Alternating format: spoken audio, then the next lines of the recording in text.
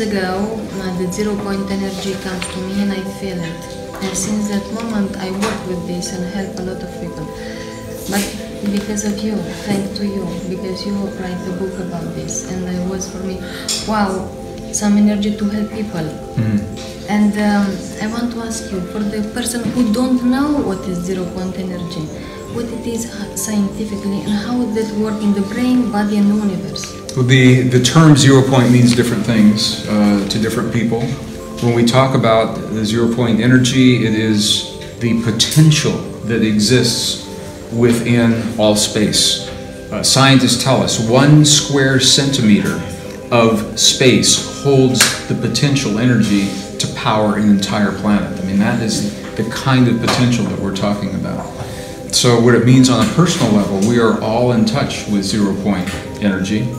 Uh, and there is a wisdom, there's an intelligence within that energy. And we give it different names, we call it uh, by different names, but we can all access it for our own use uh, as our own personal guidance because energy is information.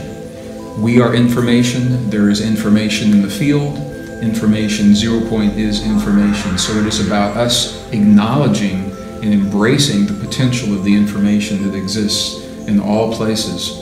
Uh, and us being very clear and very honest uh, what that information means. Intuition is a big part of this. So, in a very brief answer, that's how I would define that. And how can we use this energy to clean ourselves or to be in contact with the source?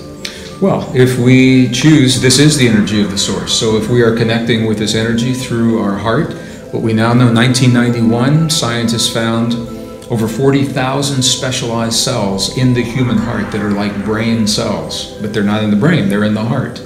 They're called sensory neurites. And when we access these cells consciously, these cells are neurons that are tuned to the field. So when we begin to listen to the information from these cells, this is the intuition uh, that we have for our, personal intuition. And uh, it's very different than listening to the mind. We can train ourselves to listen and communicate with our hearts differently than we communicate with with the brain. And this is where the wisdom of indigenous traditions and ancient spiritual traditions wasn't science, but these people knew how to do these things. So, this is the value of blending the science with the spirituality. The science tells us how the things work, the ancient traditions tell us how to apply that in our lives. And how the people can wake up of the, with the zero point energy? With what we just said. This is by accessing that, that field accessing, in the heart. Accessing, okay. Yeah. Accessing yeah. and using consciously, consciously, consciously with intent, accessing those cells in the heart, that intuition in the heart. Thank you so much. Thank you very much for the work that you do. I appreciate it. Thank you all. Thank you so much for your work. It's really incredible. It's very, very good for the earth and for the people. Oh, I hope so. Thank yes, you. Yes, it is.